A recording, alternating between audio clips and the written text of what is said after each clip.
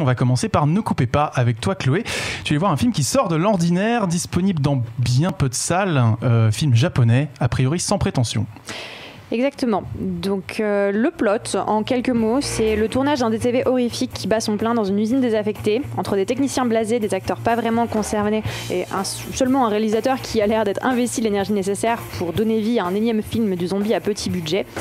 Pendant la préparation d'un plan qui est particulièrement ingrat, le tournage est perturbé par l'interruption de véritables morts vivants. Donc, euh, comme l'a dit Karel, c'est un petit film japonais qui, de base, était le projet euh, de fin d'études de Shinjiro, Shinichiro, je vais y arriver. Shinichiro. Shinichiro Uedaki. Donc, euh, il devait être diffusé une seule semaine dans, dans, un cinéma de Tokyo fin 2017, mais le bouche à oreille aidant. il est devenu un petit phénomène à 2 millions d'entrées dans les plus grands festivals de films du pays et puis ensuite du monde entier.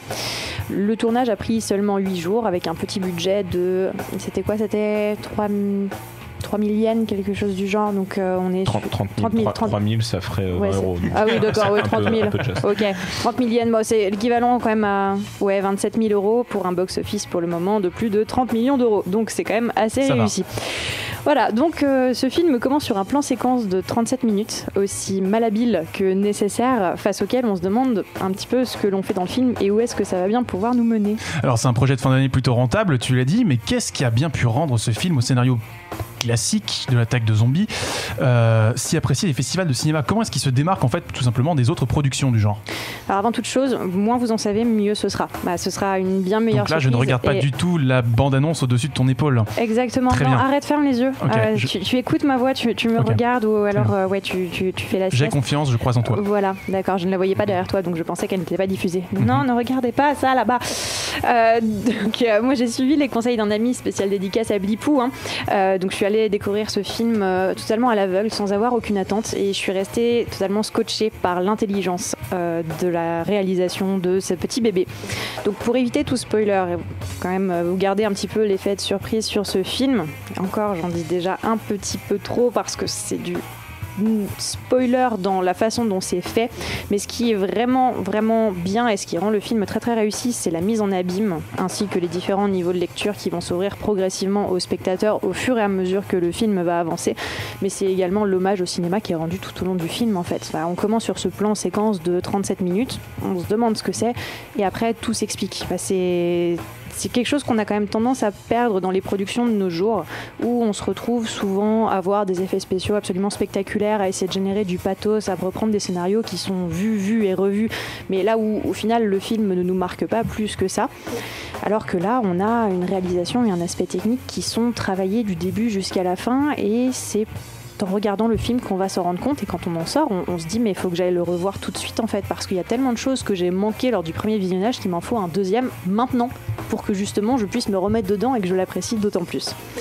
Donc il ne faut pas s'arrêter au jeu d'acteur qui peut sembler douteux au premier abord, au scénario donc euh, oui de l'attaque de zombies comme on en a vu des milliards de fois façon film à petit budget et euh, même à la caméra qui tremble parce que sur le plan séquence de 37 minutes, bah, on sent vraiment que la caméra tremblote et on en a presque mal au cœur. Donc euh, ne vous arrêtez pas à ça ou sinon vous pouvez essayer de vous y arrêter et vous me remercierez plus tard pour le résultat qui sera escompté.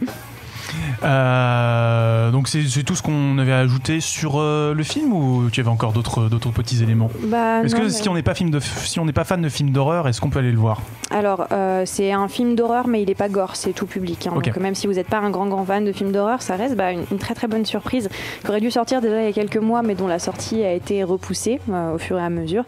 Et bah, c'est plus qu'un projet cinématographique intéressant, c'est une déclaration d'amour au cinéma, bah, pur et dur, à tout son artisanat, à tout ce qui l'entoure juste au, travail de genre, sans que ça en fasse vraiment un film de petit malin. Et ça, c'est quelque chose de beau. On passe par plein d'émotions. Au début, on comprend pas.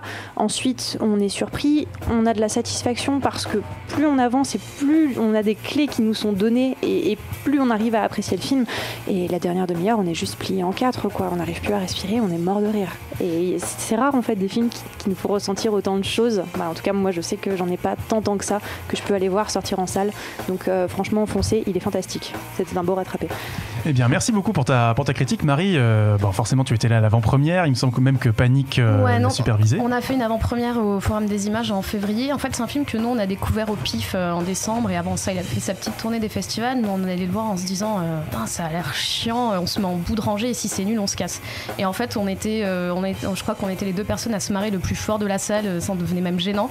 Et on a trouvé ça génial. Nous, on s'est dit, c'est un film panique. En fait, c'est le genre de film que nous, on aime. Euh, des films faits euh, à avec un petit budget. Alors, évidemment, les 37 premières minutes, c'est très compliqué. Vous allez avoir envie de sortir de la salle et vous dire, j'en ai marre, c'est un nanar, c'est nul. Et, euh, et, en fait, toute la, toute la deuxième partie du film, et bah, je vais pas paraphraser ce que, ce que tu as déjà dit, mais, mais voilà, toute la deuxième partie du film est vraiment super. Et moi, ce que j'ai bien aimé, du coup, dans l'avant-première qu'on a faite, c'est que comme je connaissais déjà le film, je suis restée un peu dans la salle, mais plus pour regarder le public. Et il y a plusieurs fois, le public se marrait hyper fort. Il y a eu trois ou quatre salles d'applaudissements. C'est quand même assez rare sur une comédie. Et euh, moi, je pense que c'est le, la comédie horrifique et les films zombies sur lequel je me suis le plus marrée depuis Shaun of the Dead. Donc ça fait 15 ans. C'est un peu gênant, mais, euh, mais ouais, c'est hyper. Euh, c'est pas cynique. C'est comme tu dis, ouais, c'est une déclaration d'amour au cinéma. Et je pense que ça parlera autant aux gens qui ont un jour essayé de tourner un film avec leurs potes que bah, juste aux fans de cinéma. Océane Bah, j'avais vu Edgar Wright justement tweeter dessus en disant que c'était un excellent film. Donc je pense qu'il valide tout ce que, tout ce que vous avez dit. C'est vrai que moi, ça m'intéresse beaucoup de, de, le voir. Je crois qu'il passe au Club de l'Étoile, donc pour les Parisiens, si vous voulez y aller, c'est une très belle salle. 17h15. Exactement. J'ai loupé la séance hier. mais alors c'est que au club de l'étoile, il n'y a pas d'autres. Non, il y a le MK de bibliothèque et le Galand aussi. il y a trois salles Mais le Galand, c'est de temps en temps. Ça reste très, très confidentiel. Bah, c'est un film compliqué à sortir et je pense que c'est encore plus compliqué quand tu sors le jour d'Avenger. quoi. Bah c'est l'enfer. Mhm, tu, tu, pardon, je t'ai interrompu, tu voulais finir Ah non, pas du tout, non, j'avais terminé. Très bien. Cédric, Jonathan, avez-vous une chose à ajouter avant d'aborder euh, le plat de résistance? Non. Non, ça a l'air génial. Elle a bien résumé le truc ah et elle a pas spoilé. Donc, elle, a donné envie. elle a donné envie. Elle a donné envie. Très bien. Donc un film. Jeux vidéo, BD, manga, série et cinéma de genre. L'actu Pop Geek, c'est dans Hyperlink. Votre cocktail de bulles et de pixels. Avec Karel et son équipe, tous les dimanches à 16h, en direct sur VL.